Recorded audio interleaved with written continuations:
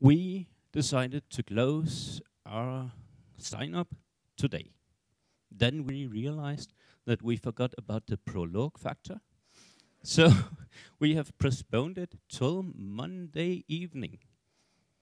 And for the first time, Just a Little Lovin' is going to be run the second time in Denmark. It's going to be in the 21st to the 26th of June. And Just a Little Lovin' is a lot about friendship, desire, and fear of death.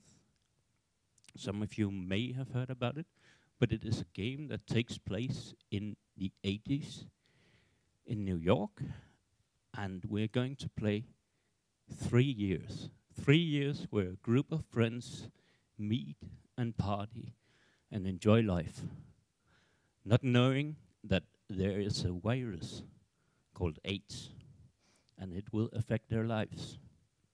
So if you want to come and experience this, sign up for Just a Little Lovin'.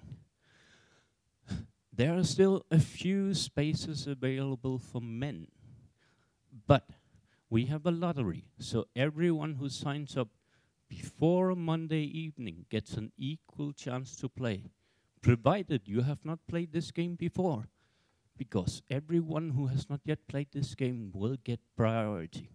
So, head out to Just a Little Lovin' and come play this game. Thank you.